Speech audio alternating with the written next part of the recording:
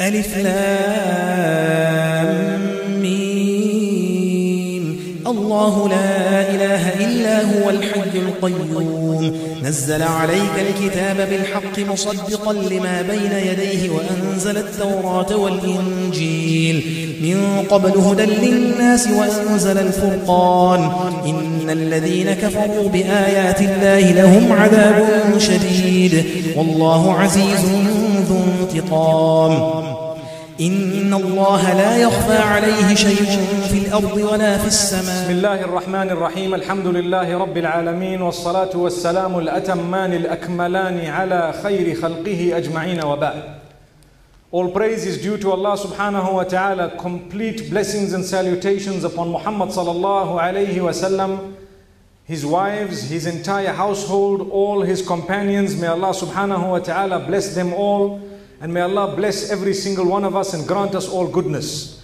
Beloved brothers and sisters in Islam, we are fortunate that Allah subhanahu wa ta'ala has given us the opportunity to listen to this Quran in the month of Ramadan, to read the Quran, and to be able to understand the message of the Quran to a certain extent, and to be able to expand the knowledge that we have of the Quran in this month of the Quran.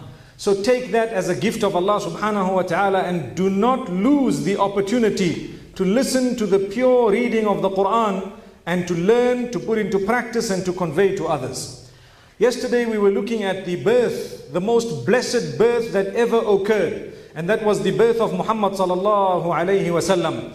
The best of creation, the one whom Allah subhanahu wa ta'ala chose for us to be from his ummah. So indeed, we are very, very fortunate, and as we say, it's about time we knew a little bit more about his life, sallallahu alayhi wasallam. The place that was chosen for this birth was Makkatul Mukarramah. It is the center of the earth. If you take a look at where it is, it is the center of the earth. And there is the Kaaba that was built right at the beginning by Ibrahim alayhi salatu wasalam together with Ismail alayhi salatu wasalam. And throughout history, it was rebuilt as and when the floods came in, and sometimes destruction was caused by fires and so on, and it was rebuilt, but exactly on the same spot. We heard about the well of Zamzam yesterday, a very interesting story. We ask Allah subhanahu wa ta'ala to grant us goodness. Very important to note that the person who saw Muhammad sallallahu alayhi wasallam first, it is reported that a person known as Ash-Shifa, Umm Abdurrahman ibn Auf, radiallahu anha. The mother of Abdurrahman ibn Auf, one of the narrations say that she was the midwife. So obviously the midwife is the first one who takes the child and this is the great fortune of this particular uh, lady, the mother of Abdurrahman ibn Auf, who later on became one of the wealthiest of the Sahaba radiallahu anhum, that particular man. Also, what is of importance is Rasulullah sallallahu alayhi wasallam, when he was born, he did not have a father, as we said yesterday. His father had passed away already when he was seven months in the womb of his mother.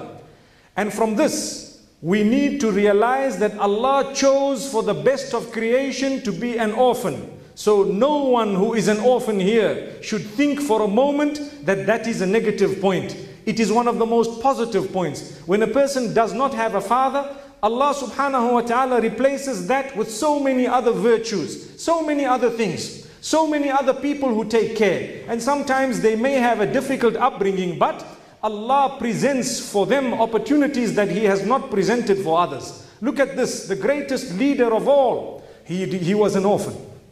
And not only that, in Islam, the meaning of the term orphan is the one, who, the child who does not have a father, who lost his or her father. That is the orphan. If someone has lost a mother, they are not termed as yatim in the Arabic language on condition that they still have the father.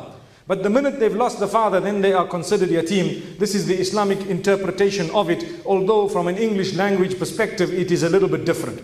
So, Rasulullah sallallahu alayhi wasallam's father passed away when he was 25 years old, meaning the man himself, Abdullah ibn Abdul Muttalib.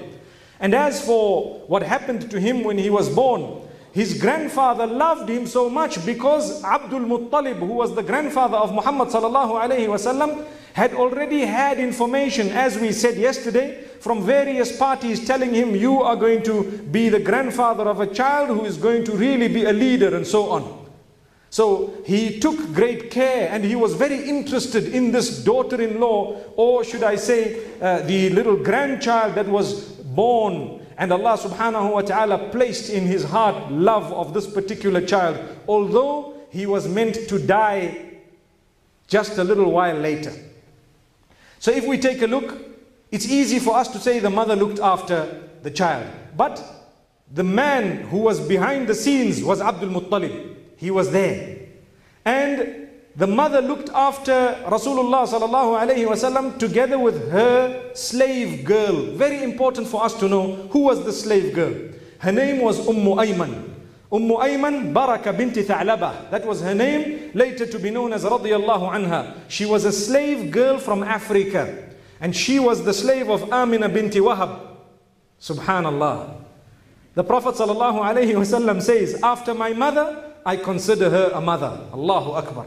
After my mother, I consider her a mother. Ummu Ayman radiyallahu anha. She looked after the Prophet wasallam. Some narrations make mention of how she was a, a wet nurse. She also nursed Nabi wasallam uh, prior to him going to the uh, clan of Banu Sa'ad where he was nursed by Halimatul Sa'diyah. If we take a look at this, it is a great virtue. Rasulullah wasallam being looked after by so many people.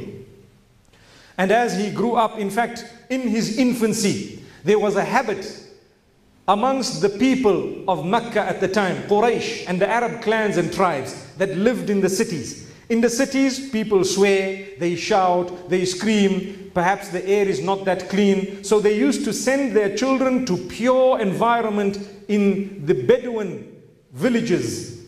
And there was a village known as Badia to Bani Sa'ad. Banu Sa'ad used to live there. It was one of the top villages where people used to send their infants to be breastfed with the pure milk. And when we say pure milk, non contaminated. Today, subhanAllah, we have a different type of contamination.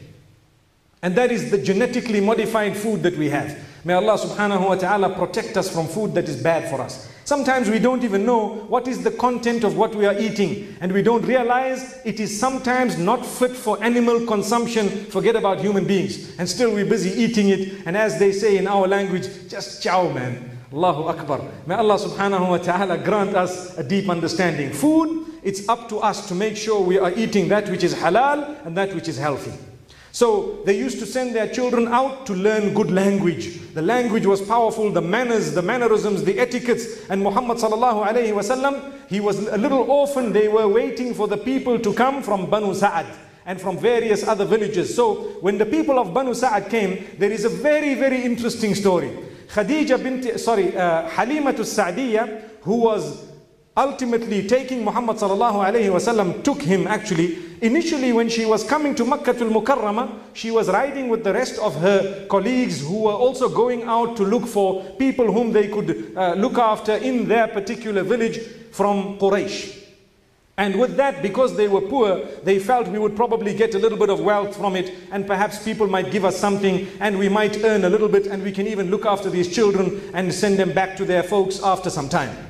So Khadija, uh, sorry, Halimatu Sa'diyah, she makes mention of something very interesting. She says, the donkey I was on got injured on its knee and it began to bleed and it was slow and it slowed down. So myself and my husband, we arrived in Mecca after the rest of them had arrived and they had already selected the babies they wanted to take. The baby of the rich man, the baby of this man, baby of that person, baby of this elite and this elite. And when she came, there was one child remaining. Who was that? This was the plan of Allah for the donkey to be delayed. This is why we tell everyone, when you are delayed, don't worry. Allah has a plan. He knows why this has happened. Just say Alhamdulillah. Like they say, better late than never. And in some cases they say, better late than the late. Allahu Akbar. May Allah have mercy on some who have passed away. I heard this morning that there were some youngsters who passed away in KwaZulu Natal. Allah subhanahu wa ta'ala grant them Jannah. They were granted a death in this particular month of Ramadan.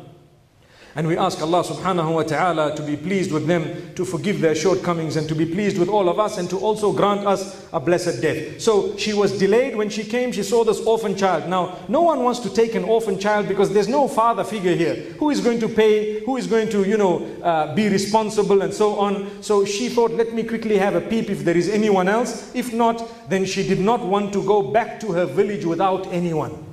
So instead of facing the others saying, You went all the way to Quraysh, you came back without a child, she then decided afterwards that, okay, let me take this orphan child. Allahu Akbar. She makes mention later on. And she says, We took the child, and immediately we started feeling blessings. Jumped onto the donkey, and suddenly the donkey became strong. And the wound of the donkey healed. Allahu Akbar. Weren't we talking about miracles? The wound of the donkey healed. And suddenly, it was one of the stronger donkeys and it was leading the pack.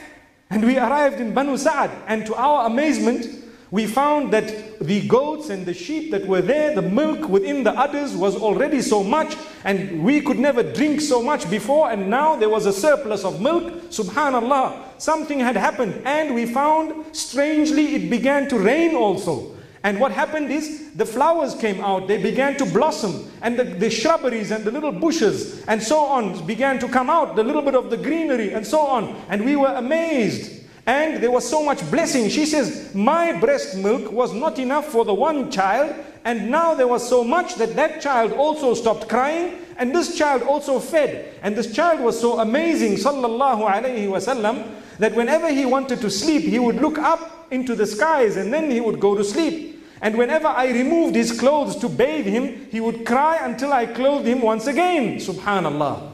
Sallallahu alayhi wasallam.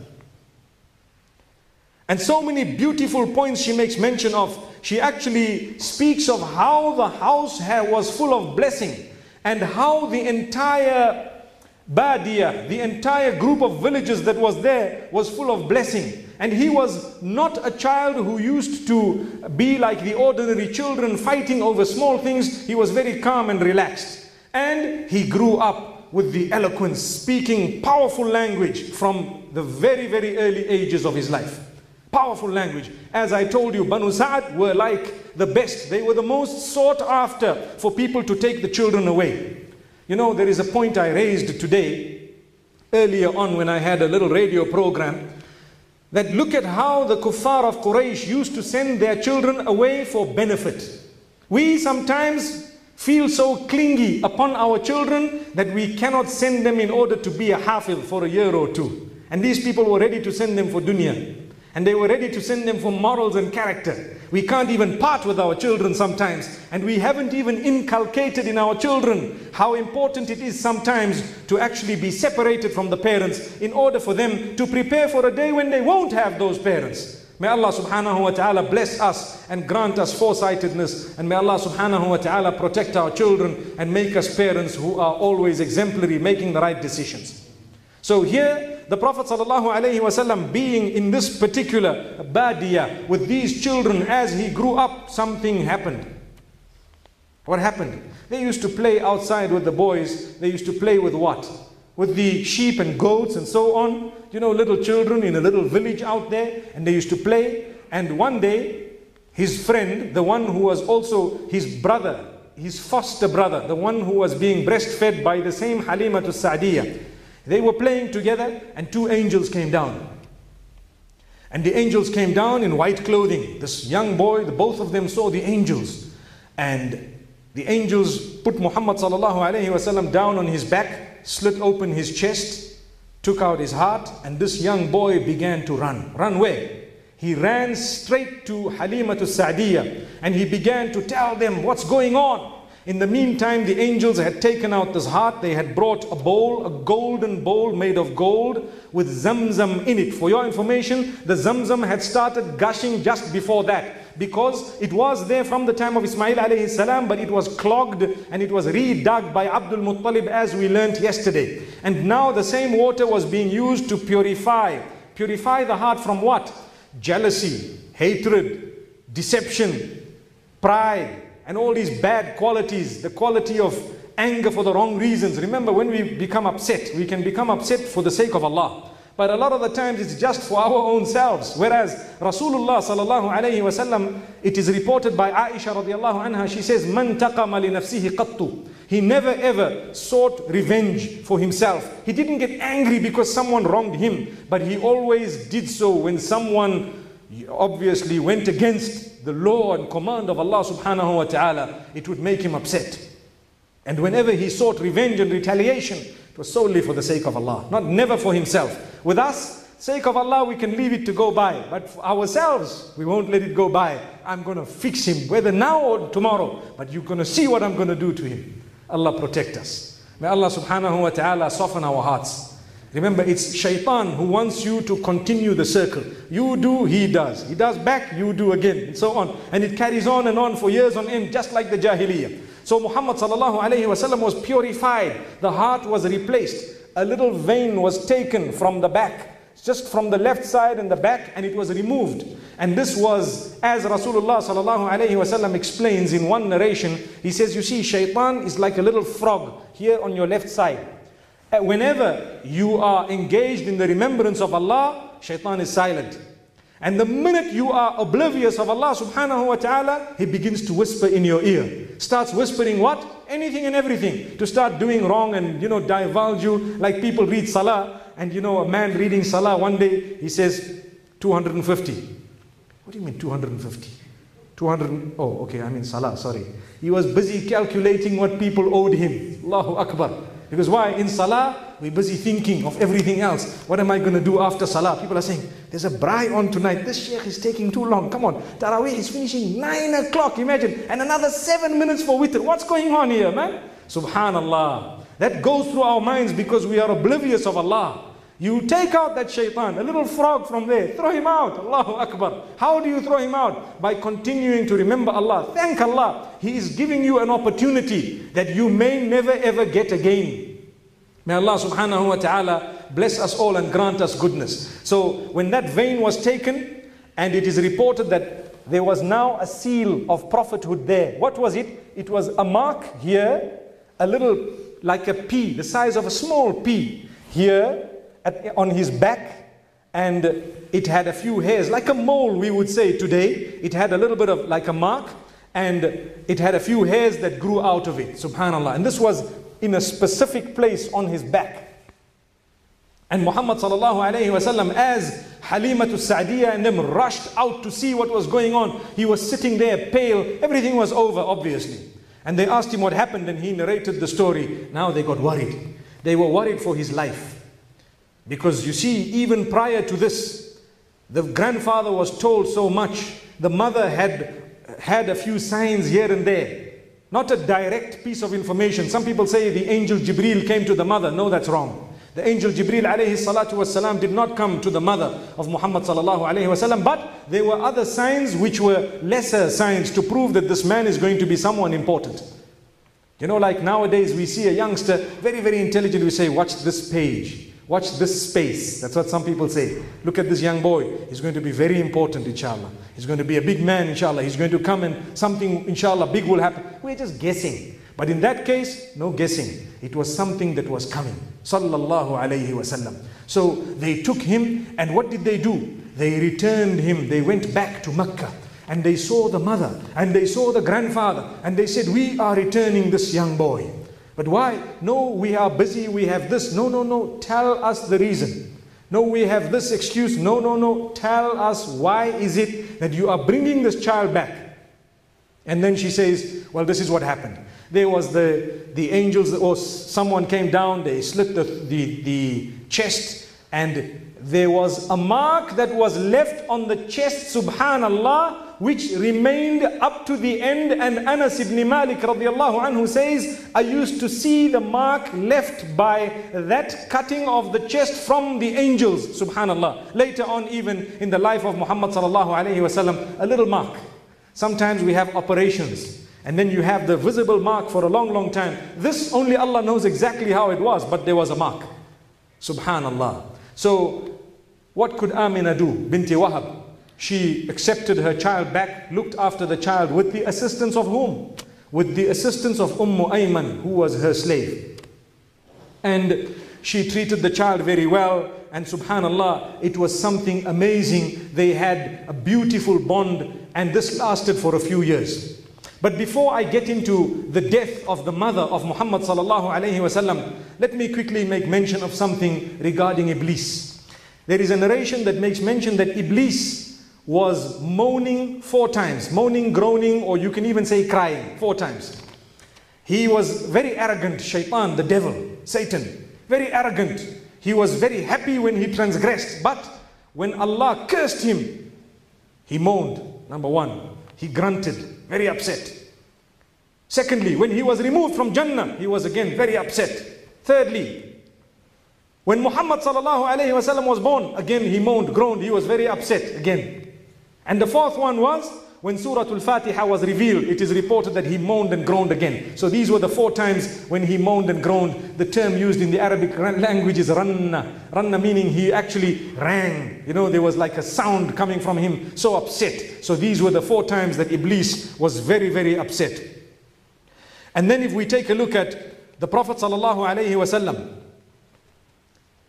as his mother had relatives in Medina Munawwara, she used to go there now and again. The father had passed away in Medina Munawwara. And as I told you, he also had relatives there. The mother went, and once on her way back, she passed away in a place called Abwa. And she was with her slave girl, Umm Ayman. And Umm Ayman took Muhammad sallallahu alayhi wasallam, looked after him, cared for him, returned him to Mecca, and went straight to the grandfather whose name was Abdul Muttalib. How old was Muhammad sallallahu alayhi wasallam when his mother passed away? He was six years old according to the vast majority of narrations. In fact, mentioning the date of birth, which we haven't said yet. I just realized we haven't said it yet. There are several narrations as to the precise date of birth, but the majority, the vast majority say it was the 12th of Rabi' al-Awwal.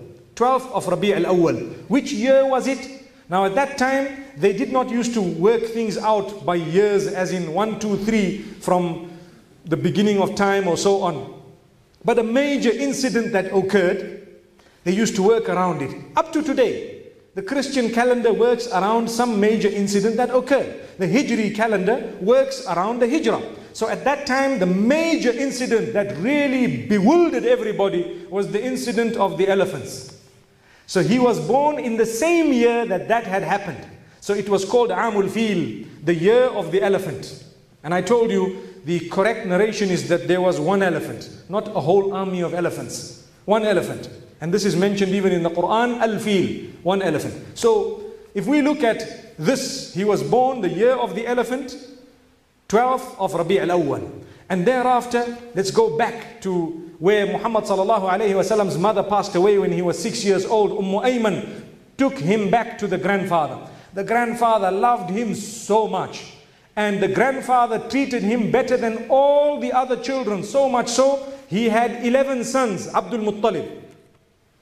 And he had, as we mentioned yesterday, a place just near the Kaaba, upon the shade of the Kaaba he had a little carpet laid for him, or should we say, a little sitting place. When we say carpet, we're thinking of this proper carpet that is laid here. No, a different type of a carpet of that particular time, something to sit on.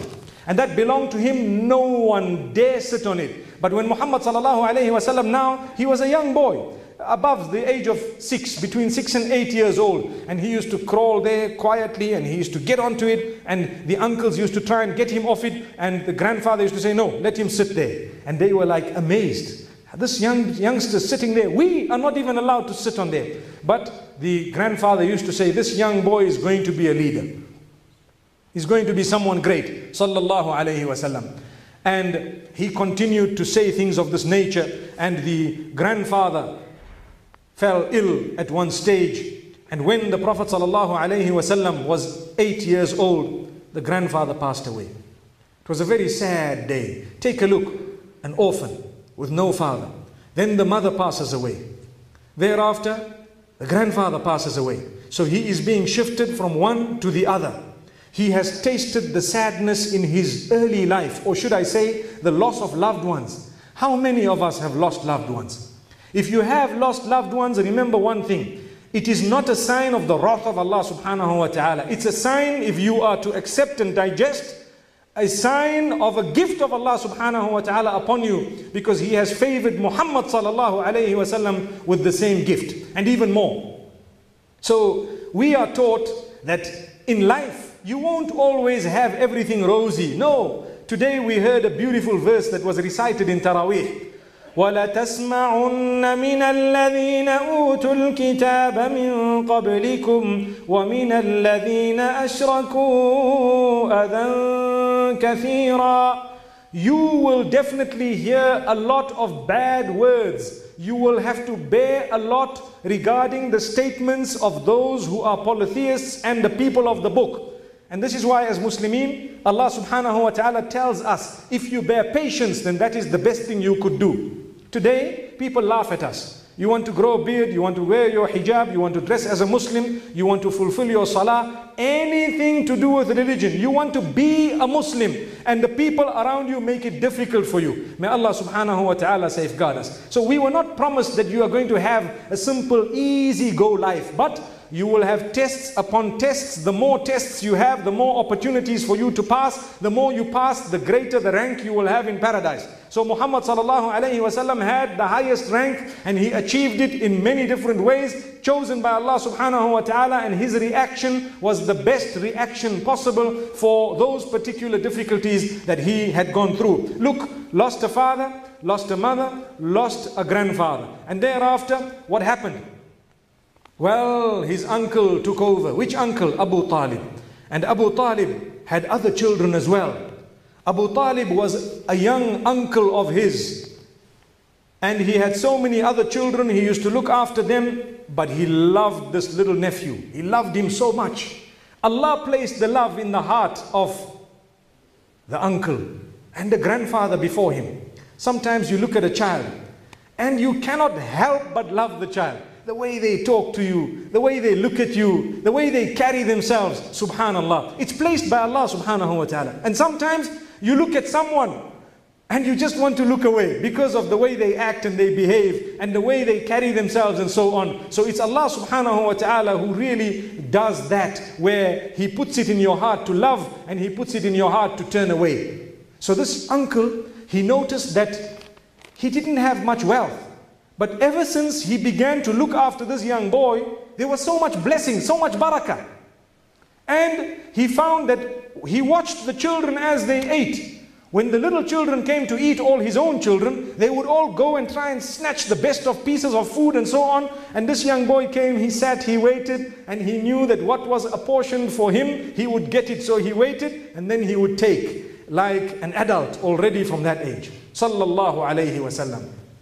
So Allah subhanahu wa ta'ala had this perfect upbringing for Muhammad sallallahu alayhi wasallam. But perfect from which angle? Not from the angle of him having a father and a mother and so on and so forth, but his credentials were never dented from the very beginning. From infancy, nothing to say this man is a liar, he's a cheat, he had bad manners, morals, he was wrong in this way, that way, he had bad company, never ever. Subhanallah. He was powerful from that early age already, preparation for sending him to the people of Mecca in a way that they won't have a response unless they are to accept. That is the only response they could have had. Anything else would be out of their arrogance because they know the man and they know him from his birth and they know how high in character, conduct, and morals he always was. So Muhammad grew up in this house full of humbleness, humility. And he used to go out to look after the sheep and the goats. And we made mention of this very briefly yesterday, but I'd like to repeat it. Sheep and goats, all the prophets of Allah subhanahu wa ta'ala looked after these. And some of the benefits were to instill within this human being who was being prepared to come out as a prophet lots of patience. With animals, you need so much patience because you can't even talk to them. Subhanallah. And thereafter, humbleness, humility. Because you've got to do so much and you are, you are down to earth. You, your clothes are messed. Sometimes you have to clean. Sometimes you walk over that which is unclean and so on. And a lot of humbleness is also achieved by this.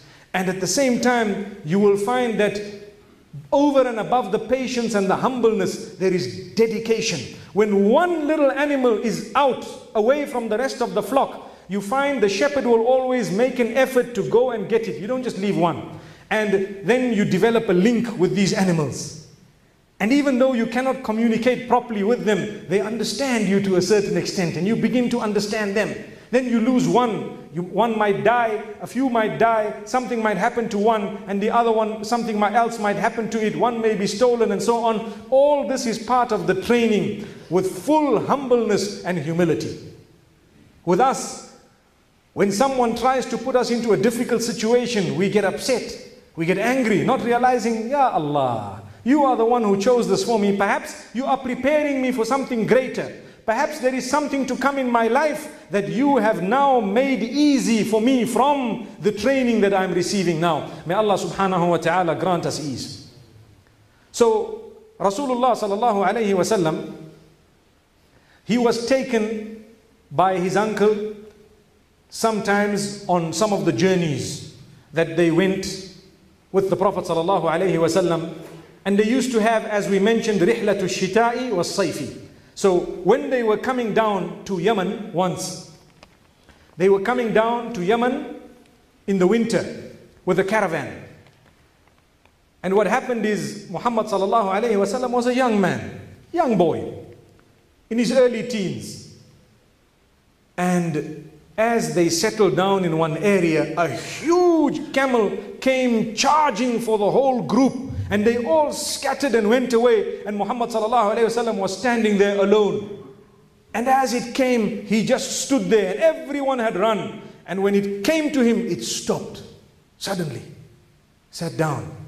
And Muhammad put his hand on it and calmed it down, and then jumped on it and rode it to where they were. And they were shocked.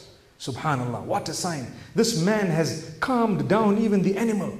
Do you know there is a story of Fudala? Fudala was a man who intended to kill Muhammad sallallahu alayhi wasallam in Hunayn. And what did he do? He was one of the Bedouin Arabs who was a marksman, sharp man. He took a khinjar, a knife, a pointed knife which was jagged, which would slit anyone. And there they had no value for life of people, especially at war. So Hunayn was later on in the time of Muhammad Muhammad's life. It is reported that 11 times they tried to murder him and 11 times Allah subhanahu wa ta'ala saved him. So one of the times, Fudala, what did he do? He pretended to be a Muslim and he joined the Muslim army in Hunayn.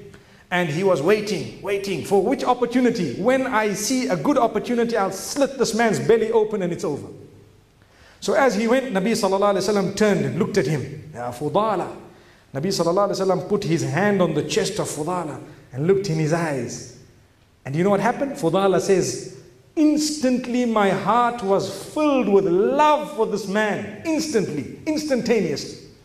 And he says, he asked me, he says, Oh Fudala, what is it that you want? So he says, Astaghfirullah. Obviously now he's repenting here. What is it you want? He said, Ya Rasulullah, I came with the intention to kill you, but I bear witness that there is none worthy of worship besides Allah, and you are indeed a messenger of Allah subhanahu wa ta'ala. Imagine. This was a story that happened later on in the life of Muhammad sallallahu alayhi wasallam. So the animals also, subhanallah. In fact, so much so, it brings tears to the eyes when we think of a hadith where the Prophet sallallahu alayhi wasallam says, إِنِّي لَأَعْرِفُ حَجَرًا بِمَكَّةَ كَانَ يُسَلِّمُ عَلَيْهِ he says, I actually know a rock in Mecca that used to greet me. Allahu Akbar. The rock in Mecca used to greet him. Sallallahu alayhi wasallam. May Allah subhanahu wa ta'ala grant us the ability to understand how fortunate we are to be following such a powerful message of the most powerful of all messengers. Many of us take it for granted. It's about time we did something about it. And it's about time we learned. This is the man through whom inshallah we will be entering Jannah. He has been granted the power to intercede. May Allah grant that to us. And we would like for us to be recognized on that day as part of His ummah. So the Prophet ﷺ on another journey, when he was going up to Asham, the Syrian region as we would call it today, but not only the country of Syria, it would include Lebanon as well as Palestine and some areas there. When they were heading up north, they used to stop at a certain monastery with the caravans. And when they stopped at one monastery, what happened is amazing. The monk never ever came out to meet these people. His name was Bahira or Buhaira, depending on how you want to pronounce it. He never used to come out. But that day, he saw something and he came out to greet them. And he started greeting them and he asked, Who is this man? Who is this young boy? And they told him this and this. So he called the guardian and he said, Watch this young boy. Be careful. He is going to be someone. And be careful. Be careful of the Jews. This is his statement. It's mentioned in the books of history because they are a very jealous nation. This is what he says himself the monk. And thereafter, he decided to go in and prepare a meal and so on. And when they were preparing a meal, they, everyone sat down and he says, Where is this young boy? They said, No, he's out there with the animals. Call him, call him. And as they called him, something strange happened. What happened? Everyone was already sitting in the shade of the tree. And the monk noticed that when this young boy came, there was no shade left. So he sat down and the tree turned slightly, slightly and it shaded him. And he says, Look at this. Look at this. It's a sign. This is the young boy. This is the boy. He will be sent one day. Now, the details are coming out. This was the first incident where there was one of the most direct pointers at this young man being a messenger of Allah. For your information, this was one of the first incidents, or the first incident where there was a direct pointer in that particular direction. And this was by a monk. And this is why we say the people of the book, not all of them had changed the books and so on. There were some who are honest. Like Allah subhanahu wa ta'ala has mentioned in the Quran that some of those they believed, they did not hide the verses and they said it outward, openly. Like we will see later on, Waraqa bin Nawfal as well was one of those who uttered the truth. May Allah subhanahu wa ta'ala grant us goodness. So this was also a sign. And Allah subhanahu wa ta'ala has blessed Muhammad sallallahu alayhi wasallam. The monk told uh, Abu Talib to take this young boy away. He says, Take this young boy away. Let him go back. Make sure that he comes back and look after him carefully. Don't let him travel towards the Roman Empire, up to the Byzantine Empire. No, he shouldn't go there. If the Romans get hold of him, they perhaps will kill him because they wouldn't want a messenger to come from amongst the Arabs. All the messengers have been from them so far. So Allah subhanahu wa ta'ala protected him and he was returned to Makkah al Mukarramah and thereafter safeguarded all the time. So much so that when he took part in building the Kaaba and he had his back open and so on, his uncle told him to cover his back. Subhanallah. So that he could be protected from the stones. But one of the underlying reasons was also the signs would not be seen by others because he had to be preserved. Sallallahu alayhi wasallam. Little did they know that Allah subhanahu wa ta'ala is the protector. May Allah subhanahu wa ta'ala protect every single one of us. I'd like to go back to the story of Umm Ayman. Very, very important person in the seerah of Muhammad sallallahu alayhi wasallam. When he married Khadija bint Khuwaylid radiallahu anha, she still looked after him, meaning she was still serving him. And he decided to free her at the time because he inherited her from the mother, from his own mother. And he freed her. And later on, when Islam started and Nubuwa, prophethood came, one of the first people to accept Islam, it is reported she was one of the first women after Khadija bint Khuwaylid radiallahu anha, was Umm Ayman. She was working with Rasulullah sallallahu alaihi wasallam, a woman from Africa who was a slave, who was freed. Listen very carefully, it brings tears to the eyes. She accepted the message of Muhammad sallallahu alayhi wasallam. You are definitely a prophet of Allah subhanahu wa ta'ala. I've watched you from the moment you were born and I know what's going on. And she outlived Muhammad sallallahu alayhi wasallam. Later on in the life of Umm Ayman radiallahu anha, the Prophet sallallahu alayhi wasallam decided to make an announcement. What did he say? Whoever wants to marry a woman from Jannah, they should marry Umm Ayman. Imagine. Whoever wants to marry a woman from Jannah should marry Umm Ayman. This woman who was married before, she was the mother of Ayman. She had had a child before, previously. On top of that, she was a slave. On top of that, she was from Africa. On top of that, she looked after Muhammad sallallahu alaihi wasallam. He freed her. And now he is saying whoever wants to marry a woman from Jannah should marry Ummu Ayman. And who got up and married her? None other than the most beloved to Muhammad sallallahu alaihi wasallam, Zayd ibn Haritha. He was much younger than her much younger than her. He married her. And who did she give birth to? She is the mother of Usama bin Zayd radiallahu anhu, one of the youngest leaders of the Muslim armies. She is the mother, Umm Ayman. And where did she pass away? She passed away later on in Medina Munawwara and is buried in Baqi' radiallahu anha wa an sahabiyati wa an sahabati ajma. May Allah be pleased with all the Sahaba radiallahu anhum. They sacrificed their lives and look at these people. It is reported that Zayd ibn Haritha was very, very white in complexion. And Usama bin Zayd was very dark in complexion, so much so that people used to accuse the child of being not from this particular father until one day they, they were sleeping in the masjid and the two feet were sticking out of the other side of the cover, the sheet. And one mudlaji, a person who was an expert in lineage, he came and as he's walking past, he didn't know the story. He looked at the feet and he says, Inna hadihi al-aqdam ba'duha min ba'd. These feet, some of them belong to the other. They are part of one, one and the same. So everyone was relieved to say, Subhanallah. People used to say things. So the complex, sometimes it comes from the lineage, from the family. His mother was from Africa. Allahu Akbar. May Allah subhanahu wa ta'ala bless us. May we be from amongst those who understand and realize. Look at where we are today. Sometimes we go backwards. And yet Muhammad sallallahu alayhi wasallam making a beautiful announcement. And this was Umm Ayman.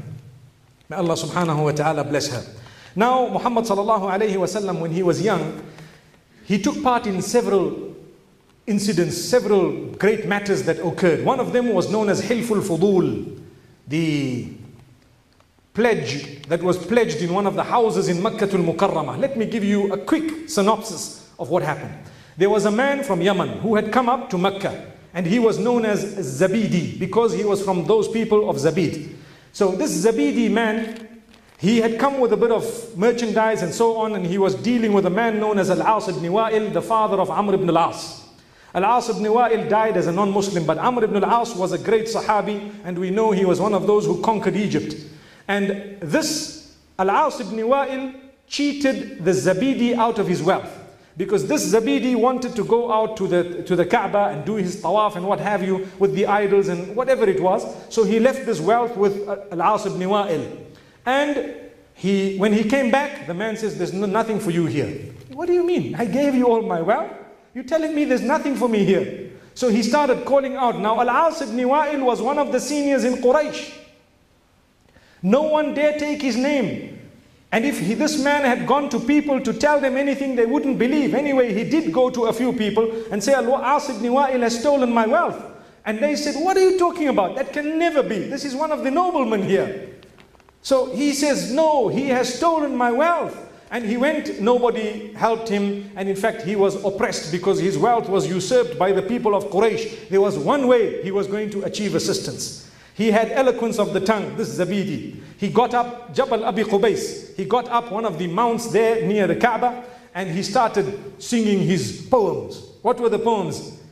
The poems were making mention of how Quraysh stole his wealth and how Al-As ibn Wa'il has stolen his wealth and they are thugs and robbers and they're all in cahoots and so on. And he started singing some poems and you know, I told you yesterday, they were crazy about poetry. A man's status would raise because of poetry and a man would be considered a leader and a chief because he came with something powerful. This man came with powerful words that lasted up to today for your information, they were all negative about Quraysh and about what had happened. So they wanted to do, set things right because they did not want that. They did not want that to go down in history.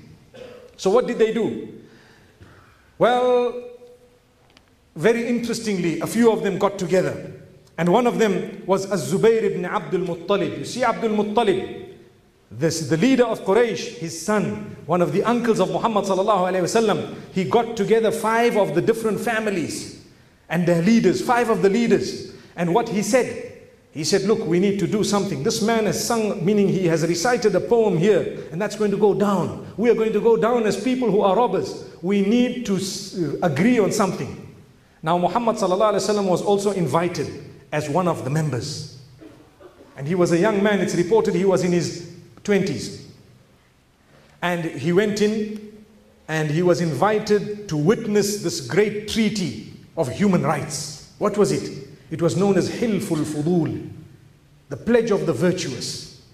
What was the pledge of the virtuous? They agreed that we will all unite to help the one who is oppressed. That was the main treaty, the main point of that whole treaty. All of us will unite and we will help the one who is oppressed and we will challenge or fight the one who is the oppressor. Allahu Akbar. Later on, Muhammad says, I attended a treaty, a covenant in the period of ignorance, if in the house of Abdullah ibn Jad'an. That was the house in which it occurred. If I was called to something similar to that today, I would go back and I would sign a similar treaty. Subhanallah. So the house of Abdullah ibn Jad'an was chosen. He was a man, I, we mentioned him yesterday.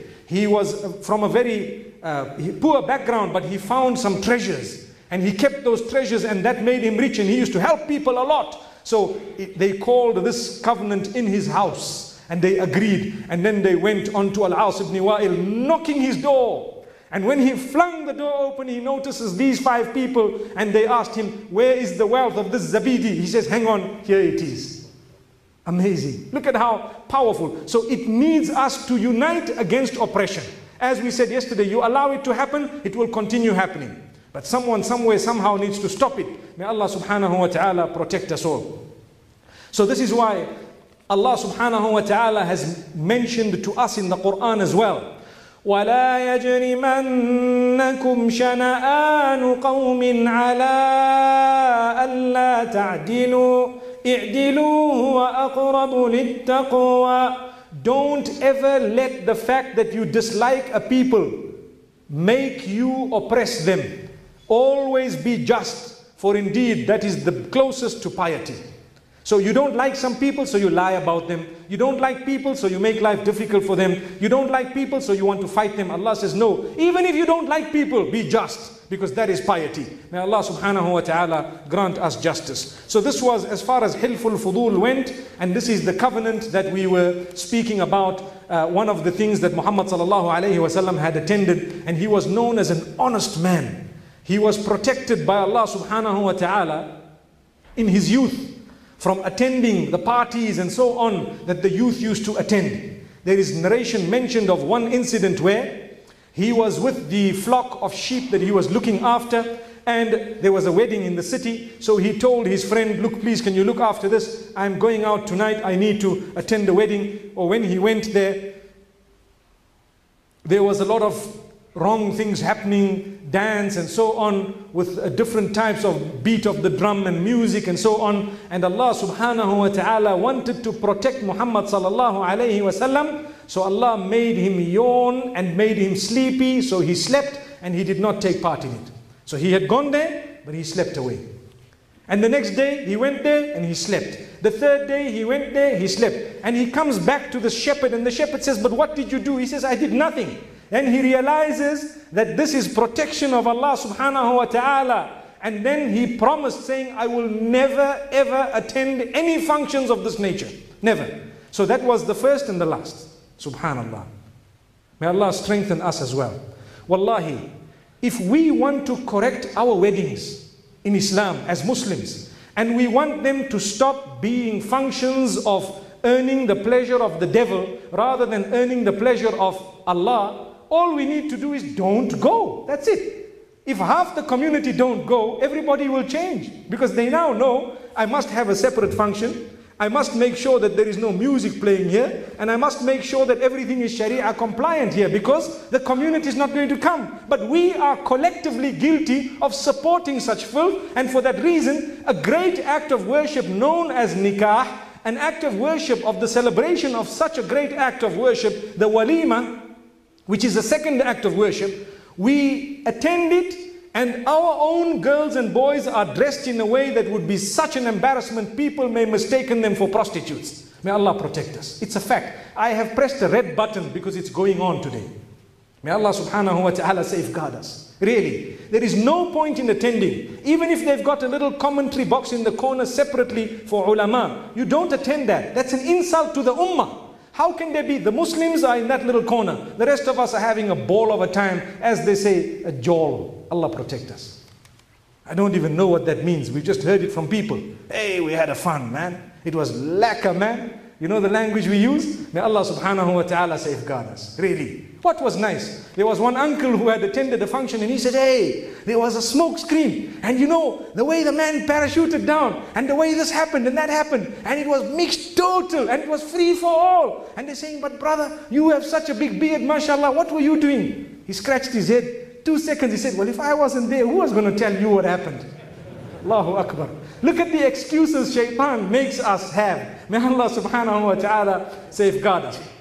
So as we were saying, you want to solve a problem, it can, but we need to be collectively ready to solve a matter. And remember one thing, do not compromise when it comes to nikah. Don't try and show people I had a bigger function and this function. Simple function, even if you have invited just a head from all of the homes and that's it. Believe me, the more simple the function, the more blessed it is. Today, one of the reasons why divorce is almost 60% and marital problems are beyond 90% of marriages. Why? Because the seed we sowed was the seed of a cactus and then we expect apples. Allahu Akbar. May Allah subhanahu wa ta'ala forgive us. Obviously, every time I say something of this nature, I see everybody's looking at me like they want to eat me up. You know, what you saying? Because we've already married and we did all these things. Well, there is always room for tawbah. Always room to ask Allah for forgiveness. That will clean your slate once again. Say, Ya Allah, we did it wrong. Forgive us. But we will make sure we don't do it wrong for our children no matter what.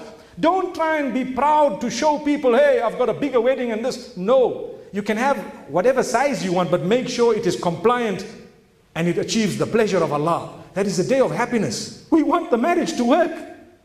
May Allah subhanahu wa ta'ala bless us all. So the Prophet sallallahu alayhi wasallam, as he grew up, he was known as an honest man. I mentioned the one incident where he attended this function and he promised never to go back to those functions again. Another incident was where they wanted in a place known as Buwana, they used to have a little uh, festival where they used to worship their idols. And the Prophet ﷺ, from his infancy and childhood, never ever worshipped idols. Never ever. Not once. And he always had something against these idols because it's just like Ibrahim alayhi salatu wasalam recognized at an early age. What's this thing here? It can't even help. He went to speak to those idols, Ibrahim alayhi salatu wasalam, and you know, no response. So Muhammad sallallahu alayhi wasallam once refused to, to go to Buwana where they were worshipping the idols or he refused to worship the idols and his uncle was very upset with him. And so in his mind he thought, what should I do? And so on. In the interim, Allah subhanahu wa ta'ala sent an angel to block him. And immediately he realized that I'm never going to do this. Never ever. Sallallahu alayhi wasallam. From that early age, he used to wonder. He used to think, all these things, these people, they are engaged in so much filth and activity that is really against the Maker. They're worshipping sticks and stones. They're treating their women unfairly. They are usurping wealth of people. They are doing this and that. And he used to try and think of solutions. And he was always truthful, honest, although a lot of those around him used to have a, a few lies here and there. May Allah subhanahu wa ta'ala protect us. So he was known from an early age, Allah's planning, as As-Sadiqul Amin. The truthful, the trustworthy. You could entrust him with anything. He was known as that. So this news began to spread. And when it spread, it got to the business people of Mecca. From amongst them was a woman. Her name was Khadija bint Khuwaylid, later to be known as radiyallahu anha. She was a middle-aged woman who was married twice before and had had a child known as Hala. So what had happened? Khadija bint Khuwaylid radiallahu anha heard that this particular man in Mecca known as Muhammad, very honest man and very trustworthy. His character is one of the best, the best in Mecca. So she invited him to do business on her behalf. She was a woman, she would stay in Mecca, but he could go up to Asham and come down. That was Allah's planning. Why? When you're going up to Sham and the Syrian region, you pass Medina Munawwara. And the Prophet ﷺ became acquainted with Medina and its people from a very early age. Did we ever know that? And he already passed there and he would go, stop over, continue, go up, and so on. Literally, today, we call it a container business. Nowadays, we have a ship coming from, mashallah, China and Hong Kong and Taiwan. It's a ship. It comes and it docks in Durban, and then we busy following it by phone. And we've got this agent and that agent. This, at that particular time, this was equivalent to the containers that people of this part of the world are acquainted to, or acquainted with. So, Muhammad sallallahu alayhi wasallam used to go with the caravans. And Khadija radiallahu anha, at that time, she sent her slave known as Maysara with Muhammad sallallahu alayhi wasallam. And she said, You go with him. And he noticed this man respected him. Imagine a slave. People, today we treat our, those who work for us are not even slaves. They are free like me and you. And we treat them so badly, we swear, we shout, we overburden them, and we tell them so much, and we still call ourselves followers of Muhammad. What a shame. We are insulting our religion. People, you know, when they go back to their villages, after when the holidays are there, they sit and they discuss, oh, I work in Nirvana. Where's that? Oh, it's in Polokwane. You know, I work for these Muslims. I, they can swear. They shout. You know, the uncle wanted to beat me also. And all of them get a bad picture of Islam. Do we know that? And the same people, when they sit around the fire in the village at the month end or at the end of the year, and they say, you know what? We have Muslims, they look after us, they respect us. They don't give us food that is fit for the bin, but they give us a portion of what they've cooked. Allahu Akbar. Allahu Akbar. Wallahi, I'm not lying to you. These are facts. Muhammad treated Maysara, who was a slave, with utmost respect, dignity. A man afforded the, the credentials. Subhanallah, he was given whatever a man deserves. And at the same time, honesty. No usurping. Imagine you've got millions of rands. You and someone else say, you know what, just don't say anything. You take some, I take some. That doesn't happen, inshallah, amongst Muslimin. But there's a lot of people who do do that. May Allah subhanahu wa ta'ala safeguard us. Muhammad did not do that. Honesty, every cent, every little coin was accounted for. And so much blessing in business. When the caravan used to come back with Muhammad wasallam, the Prophet was so much, there was so much blessing. Khadija bint Khuwaylid radiallahu anha, she had a friend. Her friend was known as Nafisa bint Munabbih. And she tells her friend, hey, you know what? This guy here is worth getting married to, man. What a man. Look at him, honest my the slave has come back to me and he says this man is of high morals and standards the highest i've ever seen. And the man is full of respect and dignity everyone. Honest he doesn't even usurp a single fraction of the wealth. So she went to him one time. You see the women sometimes they have guts you see. So she went to him and she suggested hey what's happening here? You see now look at this woman older than him by quite a bit married twice and both of the husbands passed away, one after the other. You know, in our community, there's a widow, only Allah knows how we look at her. Yet the hadith speaks about the lofty rank of those who support widows and orphans. As-sa'i, the one who supports uh, widows and orphans, is equivalent to the one who stands in salah all night, every night, and the one who fasts all day, every day. That's the reward. So this widow, she sends or this friend went to say this, and he, after a while, whatever he may have done, he felt a little bit positive about it, and he spoke to his uncle. It is reported he spoke to Abu Talib. It is also reported that he spoke to Hamza. And Hamza radiallahu anhu went with him to Khadija bint Khuwaylid radiallahu anha and her family. And they made a proposal in what we would call, they became engaged, so to speak. They agreed that we would get married and the marriage was then attended by Abu Talib himself and a few others, and in such a little while they were married. For your information, today we have engagements. In Islam, there is nothing like these engagements. If you look at it, what is an engagement in Islam? It is just the mere confirmation that these two will be getting married. That's all. Nothing else. Today we have a big function, bigger than the walima, is an engagement. And after that, what happens? We phoning everyone, it, it, was broken, you know, broken. You see, that guy was a rascal, you know, we didn't know, we found out later. Why? Because you did it the wrong way. You don't need a big engagement. Get the nikah done as simple and straightforward, and inshallah, let them start living together. An engagement, the way we do it today, where a year later we have a nikah, that one year we only allowed them to engage in sin. That's all that happened. Nothing else. Nothing positive can come out of a prolonged, prolonged engagement. I see some of the youngsters are smiling. Perhaps this is a good point for their fathers. May Allah subhanahu wa ta'ala make it easy for us as parents. You don't need to wait. Allah has provided for you and Allah has given you. Make it easy for them. So Rasulullah sallallahu alayhi wa sallam thereafter got married to Khadija bint Khuwaylid radiallahu anha and she was much older. The narrations that are most common make mention of his age and her age. His age was 25 years old when he got married, according to everyone. And her age was 40 years, according to the majority. Some say that she was 28 years old. This is obviously just a narration. I'm making mention of it for you to know that there is a narration of that. But we all know that the vast majority say she was 40 years old. She was already divorced, uh, sorry, she was already widowed twice and this was her third husband, and this was his first wife. And he married her, and he did not marry any other woman whilst she was alive. Anha.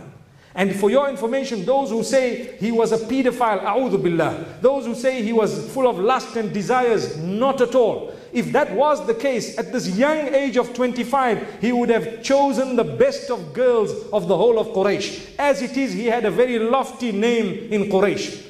But he decided to go for someone who was mature. And it was Allah's plan because for your information, Allah had already made Khadija bint Khuwaylid with qualities that were needed in order to comfort Muhammad sallallahu alayhi wasallam the day revelation came. So this was all the plan of Allah subhanahu wa ta'ala. So Rasulullah sallallahu alayhi wasallam married her and she is the one who bore his children and he had six children from Khadija bint Khuwaylid radiallahu anha. Two boys. They both passed away. One died in childhood. His name was Al-Qasim. Childhood meaning not infancy, but they say he could jump onto an animal. He could jump onto the horse or the camel. And at that age, he passed away. Al-Qasim. And this is why he is also known as Abu Al-Qasim. Sallallahu alayhi wasallam. And the other one, his name was Abdullah. He passed away in infancy. Imagine those who've lost children, even Muhammad has lost children. And here you have both of his boys lost. Later on, there was another boy by Maria al Qibtiyah. We will get to that inshallah. Ibrahim, he was also lost. But this was all prior to prophethood. And he had four girls Zainab, Ruqayya, Umm Kulthum, and Fatima. May Allah be pleased with all of them. They lived when he came with prophethood, they accepted Islam. When they all made hijrah as well. May Allah subhanahu wa ta'ala bless us all. And may Allah subhanahu wa ta'ala grant us goodness from the seerah. This is only a tip of the iceberg, inshallah. We hope that Allah subhanahu wa ta'ala increases the love we have in our hearts for Muhammad sallallahu alayhi wasallam in a way that it can be seen on our physical features and faces, and in a way that inshallah will result ultimately in us earning Jannah through obeying the instructions that were from Allah subhanahu wa ta'ala that came to us through Muhammad sallallahu alayhi wa sallam. Until we meet again tomorrow to continue this episode, we say, wa sallallahu wa sallam wa baraka ala nabina Muhammad, subhanallah wa bihamdih, subhanaka Allahumma wa bihamdik, nashhadu an la ilaha illa anta, nastaghfiruka wa natubu ilayk.